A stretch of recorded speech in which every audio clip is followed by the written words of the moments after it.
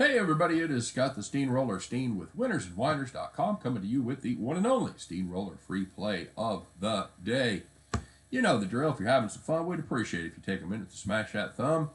Let us know you're out there. Let us know that you're uh, digging what we're doing. Of course, we want you to check out our show that we do each and every afternoon, Monday through Friday, 3 p.m. Eastern, 2 p.m. Central. As my friend Scott and I, Scott Reichel and I do a little thing we call heading back to the window with Scott and Scott. Um, course, we want you to check out winnersandwhiners.com. Great free plays, uh, sides, totals. You know the drill. Get over there.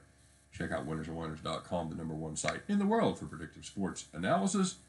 And naturally, we want to know what you're on today. What are you playing? Whatever you got cooked up, throw those plays in the comment section. You get them right, hey, we'll give you the shout out. You get enough of them right, and you will be the capper of the day. All right, first of all, uh, quick apology for no video yesterday. Been uh, a little bit under the weather. Got a uh, dun dun dun. I got a little respiratory thing going, head cold. That's what I think it is. Um, you know, it could be the big C. I don't think it is. I took a test, took a quick rapid test, came back negative.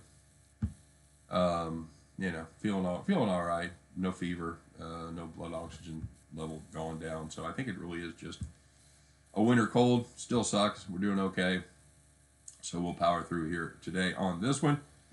Taking a look in the Ivy League. It's Friday night. It's Ivy night, guys. Cornell, the uh, Big Red, taking on the Pennsylvania Quakers. Cornell uh, catching four on the road. Guys, we're going to ride the road dogs right here.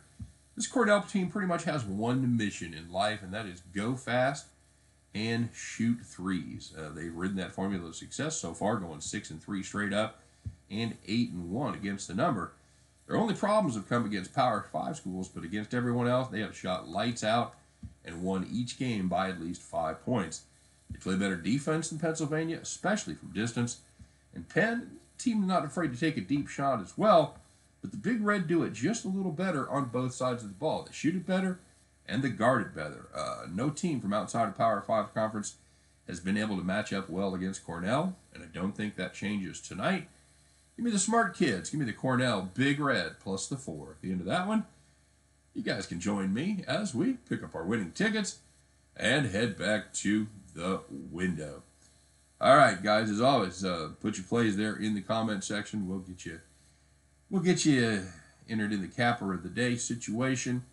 And uh, again, apologies for uh, no video yesterday for missing out. Hopefully, we'll be able to uh, keep everything going going forward. All right, you guys have a great day. Thanks for listening. Of course, don't forget to check out me and my pal Scott Reichel every day, 3 p.m. Eastern, 2 p.m. Central, as we will do our best to help you guys head back to the window. Take care, everybody. We'll see you in a little while.